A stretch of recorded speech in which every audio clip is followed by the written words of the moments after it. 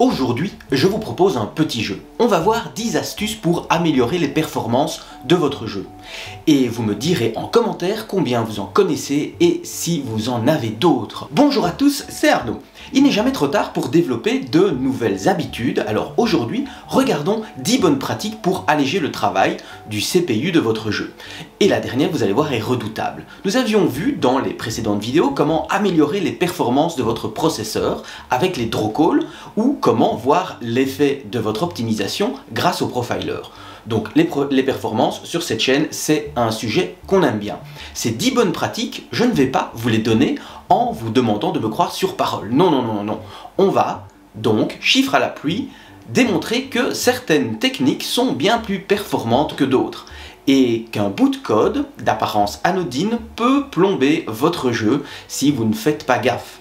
Les scripts utilisés pour ces tests sont disponibles sur GitHub, donc n'hésitez pas à les télécharger et à faire vos tests de votre côté pour vous en rendre compte. Et tant qu'on y est, abonnez-vous, laissez un pouce bleu, un commentaire, ça fait toujours plaisir, ça fait avancer la chaîne et tout ça, c'est grâce à vous. Restez jusqu'à la fin parce qu'à la fin de la vidéo, on va en profiter pour détruire deux fausses habitudes qui auraient pu être vraies dans le passé mais qui ne le sont plus. C'est parti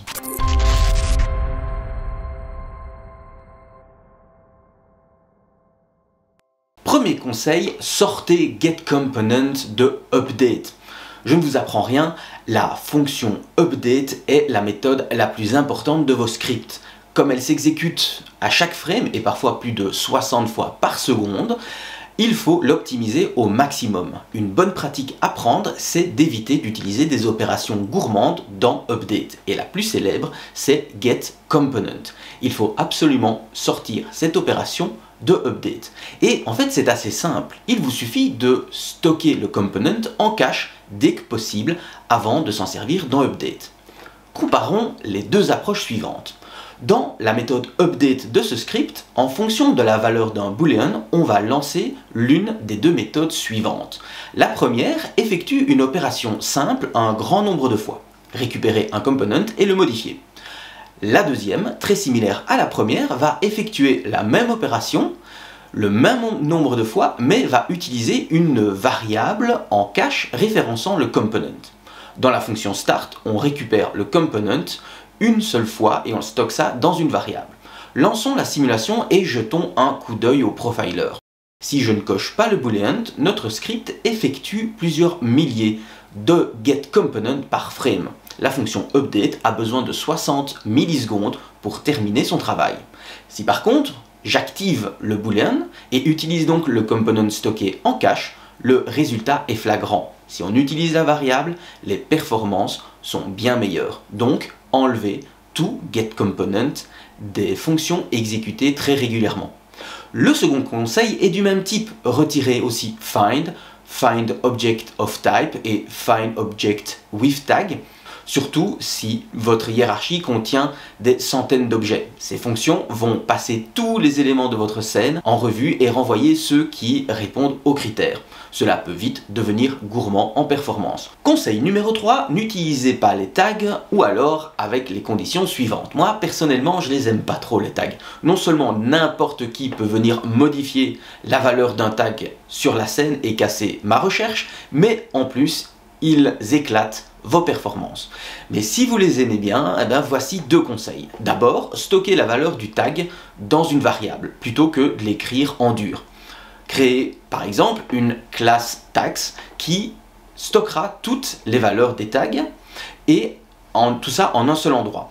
Si quelqu'un décide de changer le tag d'un GameObject, il suffira alors de changer la valeur de recherche à un seul endroit, à savoir dans la classe tags. Deuxièmement, utilisez compare tags si vous voulez comparer deux tags plutôt que l'opérateur double égal. Elle est plus performante et n'a pas d'impact sur la mémoire. Pour s'en convaincre, testons les deux manières de comparer ces tags. Dans un script de test, update va exécuter l'une des deux méthodes suivantes en fonction de l'activation d'un boolean, vous commencez à comprendre le concept. Si le boolean est vrai, on utilise compare tag. Sinon, on utilise l'opérateur double égal. Et on fait cela 50 000 fois par frame. Et le résultat dans l'éditeur est sans appel. Compare tag est deux fois moins lourd que l'opérateur double égal. Et si vous n'êtes pas convaincu, regardez l'effet sur la mémoire. L'opérateur double égal crée des strings pour effectuer sa comparaison, entraînant un impact négatif sur la mémoire. Forçons le garbage collector à passer faire le ménage. Donc utilisez CompareTag votre jeu vous dira merci. Passons à la suite avec le conseil numéro 4 qui concerne les coroutines. Il peut arriver que des méthodes indispensables au bon fonctionnement de votre jeu soient lourdes en performance mais doivent absolument être appelées régulièrement. Je pense par exemple aux décisions de l'intelligence artificielle, au pathfinding, etc. etc. Mais doivent-elles vraiment être exécutées à chaque frame si vous estimez que votre intelligence artificielle peut être mise à jour toutes les secondes, eh bien une bonne pratique consiste à placer cette logique dans une coroutine qui s'exécutera à intervalles réguliers. Cela allège le CPU et votre fonction update en devient plus lisible. Et comme on est en train de parler de coroutines, voici le conseil numéro 5. N'hésitez pas aussi à les stocker dans une variable pour les réutiliser au lieu d'en créer de nouvelles. Les coroutines sont des classes. Le garbage collector doit donc régulièrement s'en débarrasser une fois que nous n'avons plus aucune utilité. Donc, il est plus performant de la stocker en cache dans une variable plutôt qu'en créer une à chaque utilisation. Conseil numéro 6, l'ordre des opérations mathématiques. C'est tout bête, mais saviez-vous que l'ordre dans lequel vous effectuez des opérations mathématiques peut impacter vos performances? Prenez un vecteur que l'on veut multiplier par deux nombres float. Trois manières de calculer cette multiplication. On peut faire vecteur fois nombre 1 fois nombre 2. On peut faire nombre 1 fois nombre 2 fois vecteur. Ou placer le vecteur entre les deux nombres. On va essayer chacune des possibilités un très grand nombre de fois et voir le temps nécessaire pour effectuer ces opérations. Pour calculer le temps en millisecondes que chaque fonction va prendre, on va utiliser la classe stopwatch. On va la faire démarrer avant la boucle et la terminer juste après. La variable elapsed nous donne alors le temps écoulé entre start et stop. Et on voit bien que la combinaison nombre 1 fois nombre 2 fois vecteur est plus efficace. Comme on est là à discuter opérations mathématiques, en voici une autre pour le conseil numéro 7. Si votre jeu doit vérifier la longueur d'un vecteur, pour par exemple savoir si un ennemi est à portée de tir, eh bien il est plus efficace d'utiliser vector3.squareMagnitude plutôt que vector3 magnitude. Cette méthode renvoie la somme des carrés des composants de la distance, mais ne calcule pas la racine carrée finale. Il suffit de comparer ce résultat au carré de la valeur à tester. Ce script compare les performances de vector3.magnitude et vector3.squaredMagnitude sur un très grand nombre d'opérations. On voit ici que l'opération magnitude est 30% plus lente que la méthode square magnitude. Pour le conseil numéro 8, une petite devinette. Qui est le plus performant? Une unique fonction update qui parcourt une liste d'objets pour les manipuler ou une petite fonction update dans un script pour chaque objet qui effectue la même manipulation Postez donc votre réponse en commentaire. Pour répondre à cette question, prenons une préfab contenant un petit script dont la fonction update va exécuter une méthode faisant pivoter le cube un autre script va instancier cette préfab un grand nombre de fois. Lançons la simulation. 10 000 cubes apparaissent et commencent à pivoter. Ouvrons le profiler et regardons l'usage du CPU et plus particulièrement les scripts en bleu. Le CPU tourne à 32 millisecondes et la rotation de chacun des cubes prend 6 millisecondes. Ce rectangle bleu là semble fait d'un seul bloc, mais si on zoome, on commence à voir qu'il est constitué d'une myriade de petits rectangles, un pour la rotation de chaque cube. Bon, retournons dans le petit script pivotant le cube et commentons la fonction rotate. Update est maintenant vide. Ouvrons ensuite le script instantion les cubes et pour chaque cube créé, il est placé dans une liste. Si le boolean est activé, le script va, dans sa fonction update, parcourir chaque élément de la liste et le faire pivoter. On est donc passé d'une situation où chaque cube est responsable de sa rotation à un unique script pivotant tous les cubes. Si on lance la simulation et qu'on active le boolean, les cubes commencent à pivoter. Et le résultat est identique à la technique précédente. Retournons dans le profiler pour voir ce qui s'y passe. Nous avons maintenant ce qui pourrait s'apparenter à deux blocs. Le premier est l'update parcourant la liste de cubes pour les faire pivoter, qu'il effectue en 3 millisecondes. L'autre est en réalité constitué de 10 000 updates vides du script placé sur chaque cube. Donc même vide, la fonction update a un impact sur les performances. Et c'est ce qu'on appelle un overhead. Si on commente complètement l'update du script placé sur le cube et qu'on relance la simulation, il nous reste un unique bloc. Le CPU tourne maintenant à 23 millisecondes et la rotation prend 3 millisecondes, contrairement à 6 précédemment. Donc, un update global est plus performant qu'une myriade d'updates individuels. Ce qui m'amène logiquement au conseil numéro 9. Enlever tous les appels inutiles.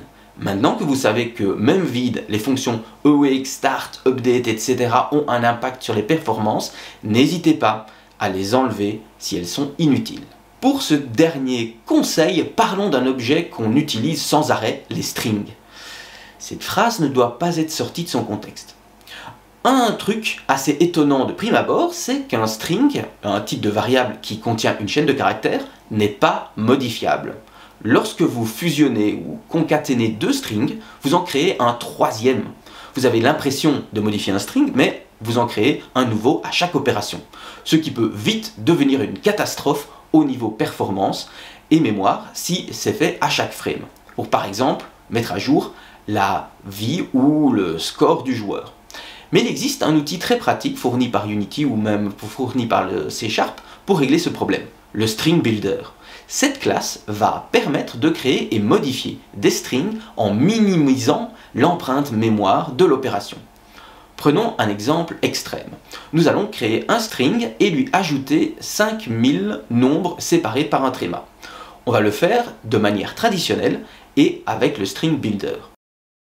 Et la conclusion est sans appel. Le string builder est bien supérieur à la manière habituelle et votre garbage collector vous remerciera. Bon, je vous avais dit qu'on allait débunker deux affirmations qui s'avèrent fausses. La première, c'est GameObject.transform. Depuis sa version 5, Unity met en cache le component transform. Donc, si vous appelez GameObject.transform dans la fonction update, tout devrait bien se passer. Vraiment? Vérifions ça. Comparons trois techniques différentes pour récupérer le transform d'un GameObject. En utilisant GameObject.getComponent, GameObject.transform et pour finir en mettant le component en cache manuellement. Et le résultat parle de lui-même. Il est toujours plus efficace de mettre manuellement le transform en cache. GameObject.transform arrive second et, comme attendu, GetComponent bon dernier. Donc, sauvegardez en cache votre transform pour économiser les performances. La deuxième, c'est camera.main. Avant Unity 2019, camera.main était un raccourci pour Find Object with Tag et aucune référence n'était mise en cache. Depuis Unity 2019, camera.main est maintenant plus rapide et s'apparente un peu à un getComponent. Mais est-ce aussi rapide que mettre la caméra en cache? Eh bien non, vous vous en doutez. Donc privilégiez la mise en cache de la caméra que vous utilisez. C'est beaucoup plus performant. Alors évidemment, dans une situation réelle, un script ne va pas faire des centaines de milliers d'opérations par frame, mais réparti sur des centaines de scripts, les petites pertes de performance liées à des mauvaises pratiques vont tout doucement faire baisser la qualité de votre jeu et ce sera plus difficile d'en détecter la source. Donc en adoptant dès maintenant ces petites habitudes pas franchement compliquées, vous libérez de la puissance pour les opérations vraiment importantes, celles qui feront de votre jeu une expérience inoubliable. Merci beaucoup d'avoir regardé cette vidéo jusqu'au bout, j'espère qu'elle vous a plu et que vous avez appris quelque chose avec cette liste de bonnes pratiques. N'hésitez pas à poster en commentaire vos autres astuces pour économiser du CPU et euh, améliorer les performances de votre jeu. N'hésitez pas non plus à parcourir les autres vidéos de la chaîne traitant de la manière d'économiser des performances pour votre jeu. Je n'ai plus qu'à vous souhaiter une bonne journée, une bonne soirée. On se retrouve très bientôt. Allez, bisous